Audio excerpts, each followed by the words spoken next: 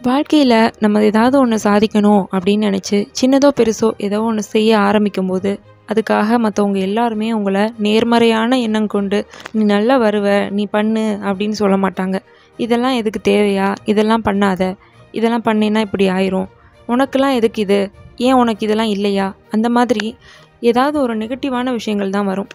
நீங்கள் ஆரம்பிக்கிற விஷயத்தில் நீங்கள் உறுதியாக இருக்கீங்க நான் இதை தான் பண்ண போகிறேன் அப்படின்றதுல தெளிவாக இருக்கீங்க அப்படின்னா அதை யாருக்காகவும் மாற்றிக்காதீங்க கண்டிப்பாக உங்களுக்கு வெற்றி ஒரு நாள் கிடைக்கும். உங்களை இன்சல்ட் பண்ணுவாங்க.